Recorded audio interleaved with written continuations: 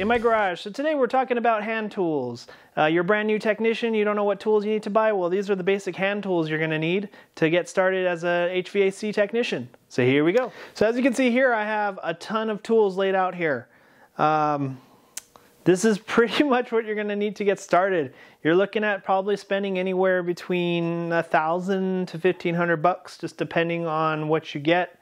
Uh, you know, just to get started. And this is mostly just the hand tools, um, but this will get you, you know get the job get the job done for you.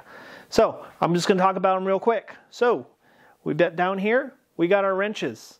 Uh, we have adjustable box wrenches, also known as crescent wrenches. Uh, this is an actual crescent wrench right here.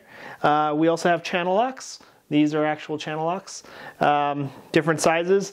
Uh, this is a spud wrench. You don't really need that, but it's nice to have for gas valves and stuff. But you're definitely going to need a pipe wrench. Um, you're going to need some PVC cutters. You want some straight tin snips. You're going to want some good heavy duty scissors. Uh, and you're going to go ahead and want a uh, box cutter or a razor blade and a duct knife. Duct knife is very important. This right here, this is a fuse puller. It's basically uh, helps you pull out fuses. It's plastic. It's not um, it's not a conductor, so it won't shock you. Uh, you don't really need one of those, but they're nice to have. Uh, this is a set of linemen's. They are very nice to have. I never used them for a long time, and I found one in an attic, and I can't live without it. It's it's awesome. It's great for you know untwisting wires and things like that, and it's got a little cutter on it. Can grab on things. It's awesome. Uh, you're going to need a set of diagonal cutters. Uh, you're going to want some uh, these guys here. This is a crimper tool. Uh, this is uh, nice to have. You don't always need it because you can get a set of strippers, which you're going to need, that have it built in. I don't know if you can see that right there. Uh, it actually has built-in crimpers. Um, it's good to have some needle nose pliers. You're definitely going to want a service wrench. Um, this right here you can use to open and close service valves um, if they're three position valves. And then this bit will allow you to open up the service valves uh, just the two position ones. You're going to want a set of Allens. Uh, it's good to get metric and you know standard. Uh, you definitely want torpedo uh, level. You're going to have to be leveling things. The little one's nice because it's portable. Uh, this is one of those things that you don't need, but it's nice to have. This is basically a little magnet, so if I drop a tool um, or some screws, you can extend it, stick it down where you drop it, and pick up your tool. Um, I've saved a lot of tools by doing that, as you can see here. Um, so this is this is actually a great thing to have. Harbor Freight. Um, I know we don't say. That, I know those. That's the words that you don't want to ever say. But um, Harbor Freight is a hit or miss thing. There's some good stuff there, but then there's also a lot of junk. This is one of those good things. Uh, I think this was like three bucks. Um, another thing is you're going to want a reamer tool because you're going to be working with copper pipe. Um, you definitely want a tube cutter. And um, this right here is not something you absolutely need, but uh, this is a, um, a hub puller. So this helps you pull off fan blades or uh, blower wheels. And this has saved my life. I highly suggest getting one of these. They're about 50 bucks, but it's well worth the money. You're gonna want a caulking gun because uh, you will have to seal some stuff sometimes. Uh, this one right here is, I would say, some people say that these aren't required, but I highly suggest these. Uh, the reason being is these are to take off those refrigerant locking clamps or locking caps. Um, so these are the different types. This is the, the Novent, and then these are the Shield. Um, I just noticed it's broken. Uh, but, but anyway, this one's for the Shield uh, um, locking caps, and this is for the Novent ones. Uh, one's for 410A, one's for R22 slash Universal. So those are definitely important to have. Uh, screwdrivers. So I have a bunch of Kleins here. I have a large common, a small common, a Phillip, a small Phillip, quarter inch nut driver, uh, 5 16 nut driver, and then I have an 11 in one here, which I love. Um, then this is a 6 in 1. Of course, I lost all the bits, but this is a 6 in 1 stubby. And then there's a, uh, this is also a stubby for quarter and sixteenths. It's adjustable, so you can, you know, switch it. Right now it's quarter, and then you just kind of pull on that and screw that in, and now it's a 5 sixteenths. So this is kind of nice thing to have. Uh, you're definitely going to need an electrical meter. Um, it's nice to have these alligator clamps uh, that you can hook up to the wiring. And you're definitely going to want micro leads. Uh, a lot of the new stuff has small little tiny connections and those regular leads just will not fit. Um, this comes with my, my clamp is detachable. Um, for my particular one, I have an HS36 by Fieldpiece.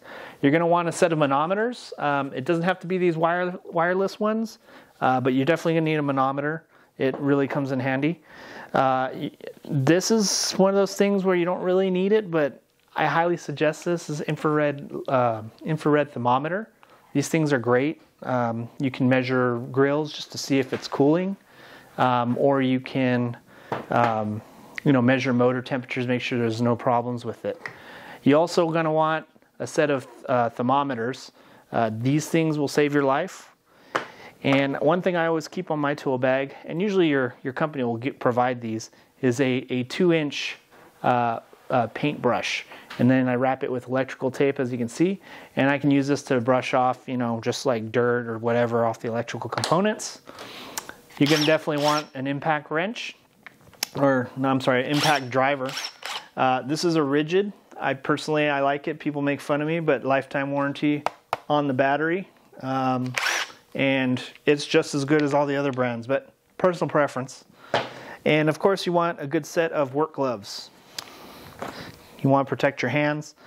Uh, another thing too is these things right here, these are little poppers. There's a 5 amp version and a 3 amp version.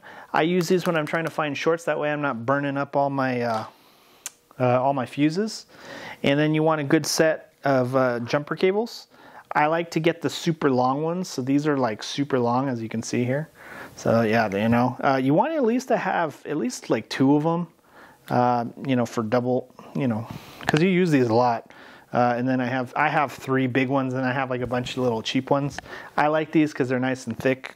You know, I got these on Amazon. These are awesome. I love these. But anyway, um, you want to have some kind of flashlight because uh, you're going to be working in the dark. Um, and then drill bits. Um, I have three here. These are the ones that I use the most. Uh, so this one right here is a half inch um, nut driver. And pretty much I use this one for compressors, to take off the compressors. This right here is the Malco flip, uh, flip bit. So this one is a 5 16 and a 3 8 So right now it's 5 16 I can pop that off, pop that back on, and now it's a 3 8 And then I have another one that's 5 16 and quarter inch. So same deal, pop it off, flip it, there you go. So those are nice to have. You're going to want some kind of um, some kind of step bit. Uh, I have three of them here, and believe it or not, these are Harbor Freight. Uh, I just bought these because the one that I had, it, it's a three, it's a, a, set of three, as you can see here. They're like 20 bucks. Uh, the last set I had lasted me five years. Um, so most most bits at Harbor Freight are terrible. You pretty much use them one time and that's it. Uh, but these lasted me five years, and I was using them pretty consistently, and I was very happy with them. So the one I had was starting to kind of finally wear out. Uh, so I got another set, 20 bucks. Best money I ever spent. Uh, you can get the nicer ones, you know, they're like 50, 60, 70 bucks for one. Uh, but, uh, you know, and what I like about these is they have that hex so you can hook it up to your driver. So other ones you the, the, the expensive ones you can only put it on a drill. And personally, I just I never use my drill. I have a drill, but I never use it. I always use my driver. Um, and then you want to have some extension bits. This is a uh, flexible one. As you can see, it flexes, it bends. Uh, and then I have an extension one, just basically give me longer reach. And then there's this guy. This is a DeWalt one. So this is a 90 degree um, bit, as you can see. This is one. These again, these are kind of this these uh, you know nice to have, but I would highly suggest these because you're always trying to get to weird things. There's also some uh, other kind of wrenches you can get. Uh, I don't have, which I'm probably going to eventually. Um, but yeah, you're definitely going to want a flexible bit or an, and an extension for sure to get started. Uh, you're going to want a small thermostat screwdriver. This is actually, a, I think this is a six in one. So, you know, it's, it's a pocket one. So pretty much you flip it like that and then you pull that out and you can stick it in your pocket, which is exactly what I do. Um, so yeah, it's it's pretty nice. I like this one. It's made by Klein. You're gonna want to have some kind of sharpie because uh, you're going to be writing dates and stuff on, um, you know, on uh, uh, filters and stuff. And then you know you want a pen because you're gonna have to fill out paperwork. Um, and I don't know if I went over this. I may have. Tape measure is very important. Um, so that's pretty much it. Uh, again, if you have any questions or concerns, uh, go ahead and comment below. Uh, hopefully this helps you on figuring out what tools you need.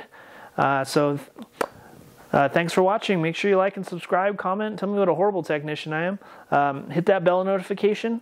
Uh, I think it's right there. And then follow me on Instagram and Facebook. Thanks for watching.